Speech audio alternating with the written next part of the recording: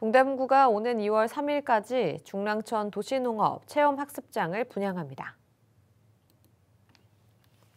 다양한 계층이 경험할 수 있도록 어르신, 장애인, 다문화 가정 등으로 구분해 모집하며 올해는 지난해보다 텃밭 구획수를 27개 확대해 한 구획당 약 4.5제곱미터씩 927구획을 분양하게 됩니다. 동대문구 주민은 누구나 참여할 수 있으며 한 개 분야, 한 가구당 한 명만 신청이 가능합니다. 쌈 채소 모종, 해충 방제, 급수시설, 거름주기 등을 지원하고 4월부터 11월 말까지 운영됩니다.